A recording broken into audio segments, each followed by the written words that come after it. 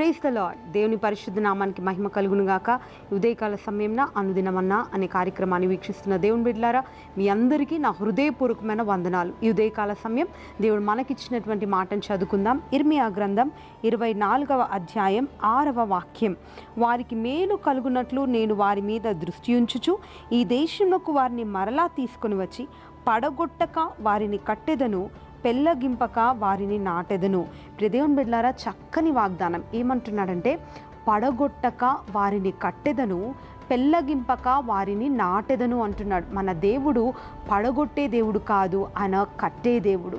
ఆయన పెళ్ళగించే దేవుడు కాదు ఆయన నాటే దేవుడు. ప్రియదేవుని బిడ్డ యుదయకాల ఉదయకాల సమయంన ఎంతమంది అయితే మా జీవితం పడిపోయిన పరిస్థితిలో ఉంది అది ఆర్థిక పరంగానే అవ్వనివ్వండి కుటుంబ పరంగానే ఇంకా ఏ విషయంలో మీరు పడిపోయారు ఇంకా అయిపోయింది అని అనుకుంటున్నారో ప్రియదేవుని బిడ్డ ఆయన ఏమంటున్నాడు అనంటే మిమ్మల్ని నేను పడగొట్టను పడగొట్టక మరలా మిమ్మల్ని కడతానంటున్నాడు. ప్రియదేవుని బిడ్డ మన దేవుడు కట్టే దేవుడు. కాబట్టి మనము కట్టబడడానికి ఇష్టపడాలి. మన ఆత్మీయ జీవితం కట్టబడడానికి ఇష్టపడాలి. ఆ దినాలలో ఏలియా మరి బలిపీఠం కట్టాడండి. ఎన్ని రాళ్ళతో పన్నెండు రాళ్ళతో అంటే పన్నెండు గోత్రాలకు సూచనగా పన్నెండు రాళ్ళు పెట్టి బలిపీఠం కడితే ప్రియ దేవుని బిడ్లారా అక్కడ ఒక అసాధారణమైన కార్యం జరిగింది.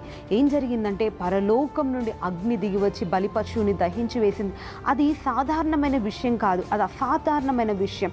అది మరి ఒక గొప్ప అద్భుతం. ప్రియదేవుని బిడ్డ నీ జీవితంలో అద్భుతం జరగాలి అనంటే దేవుడు నీ జీవితాన్ని కట్టాలి అనంటే నీ జీవితంలో అనేకమైన విషయాలను పడిపోతున్నావు అనుకుంటున్న పరిస్థితులు ఆయన మరలా కట్టాలి అనంటే నువ్వు కట్టబడడానికి ఇష్టపడాలి. ఎప్పుడైతే ఈ యొక్క ఏలియా బలిపీఠం కట్టాడో అప్పుడు అగ్ని దిగి వచ్చింది. అంటే అప్పుడు ఒక మహత్తరమైనటువంటి కార్యం లేదా ఒక అద్భుతం జరిగింది. ప్రియదేవుని బిడ్డ నీ జీవితంలో ఒక అద్భుతం జరగాలి. మరి దేవుడు నీ జీవితంలో ఒక అద్భుతం చేయాలి. ఆయన నిన్ను కట్టాలి అనంటే నువ్వు కట్టబడడానికి ఇష్టపడాలి. నీ బలిపీఠం మొదట నువ్వు కట్టుకోవాలి.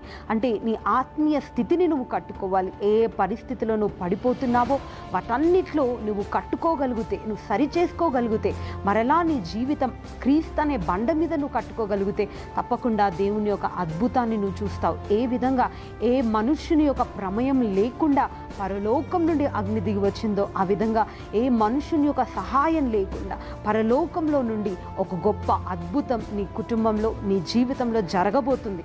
ఎప్పుడు అనంటే నువ్వు కట్టబడ్డానికి ఇష్టపడినప్పుడు ఎందుకంటే మన దేవుడు కట్టే దేవుడు. ఆయన మరలా నిన్ను రప్పించి నిన్ను కడతానంటున్నాడు. ప్రియ దేవుని బిడ్డ నీ పరిస్థితుల్లో నుంచి ఆయన నిన్ను మరలా నడిపించి ఆయన మరలా నీ మొదటి స్థితిలోనికి నేను తీసుకుని రావడానికి ఇష్టపడుతున్నాడు. ఏ విషయంలో పడిపోయానని కృంగిపోయావో ఇదే కాల సమయంన కట్టుకోవడానికి నీ ఆత్మీయ జీవితం కట్టుకోవడానికి సిద్ధపడు. దేవుడు తప్పకుండా నిన్ను మరలా కట్టి మరలా నాటి నేను ఆశీర్వాదకరంగా నిలబెట్టబోతున్నాడు. ఒక అసాధారణమైన క్రియ ఒక అద్భుతం నీ జీవితంలో నువ్వు అనుభవించబోతున్నావు. కాబట్టి ఏ స్థితిలో నువ్వు పడిపోయావో లెగడానికి సిద్ధపడు. నిన్ను నువ్వు సరి చేసుకోవడానికి సిద్ధపడు. నీ ఆత్మీయ జీవితం అనే బలిపీఠాన్ని కట్టుకో. దేవుని యొక్క ఆశీర్వాదాన్ని పొందుకో. ప్రార్థన చేసుకుందామా? ప్రార్థన.